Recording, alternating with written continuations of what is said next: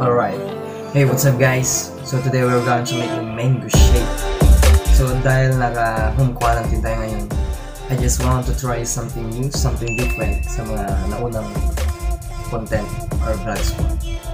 So we just need sugar, water, a bit of ice, blender,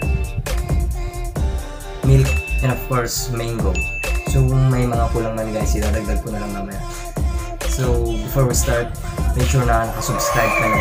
So let's go guys!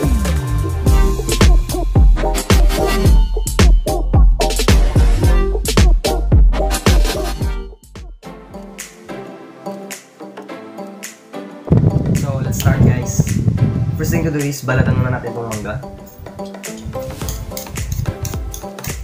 Mapapansin nyo guys, hilaw no? For sure, for sure, maasim. Pero I think baka hindi naman kasi may sugar chunk.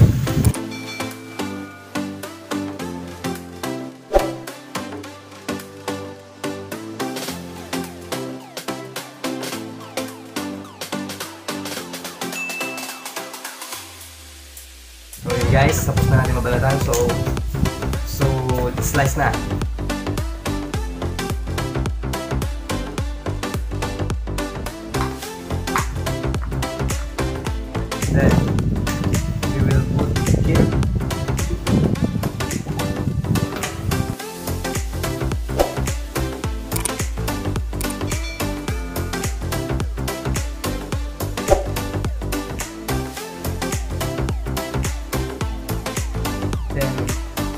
Natin para sulit. The second one is the sugar guys. So, lagyan na natin. Ayan. Medyo natapon siya. Try na lang natin. So, I think guys, kulang yun kasi medyo madami yun. So, na natin ng konting sugar. Ayan. So. Yan. Next is the milk or the condensed. Yan na natin. So, tansya-tansya na lang guys. Hindi ko sure kung gano'n talaga. So, medyo madami na ata. Masyado na pang. So, the next, the last, the next is water.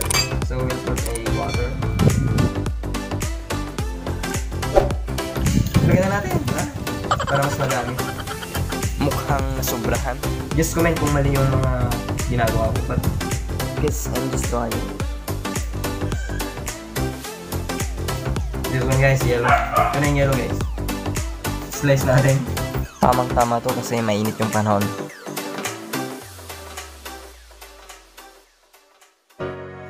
So ito na guys, ready na.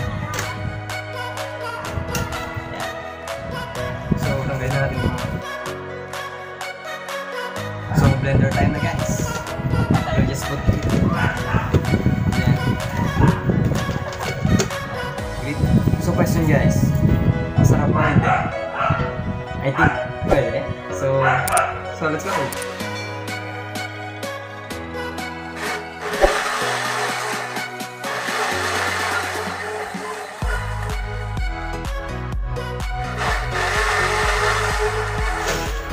So yan guys, okay na siya.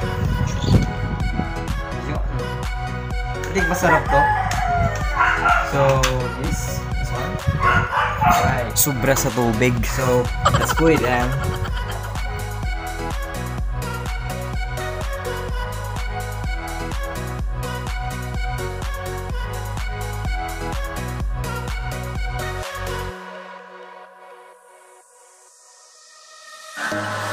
Eyes glow like two fires, movement so graceful.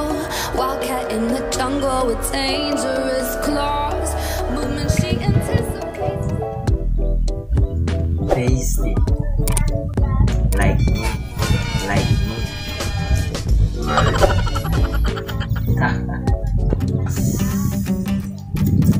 Masarap siya guys. Natikman ko na natin yung kwan yung hinog na. But I think it's It's better than it. Di nyo subukan guys? Simple lang naman. So, thank you for watching guys. I hope you enjoy. This is my first time to make this one na ibinidyo. So, thank you guys. Stay at home. Just keep praying for our safety, healthy, para matapos na yung crisis na to. So, God bless guys. Don't forget to subscribe.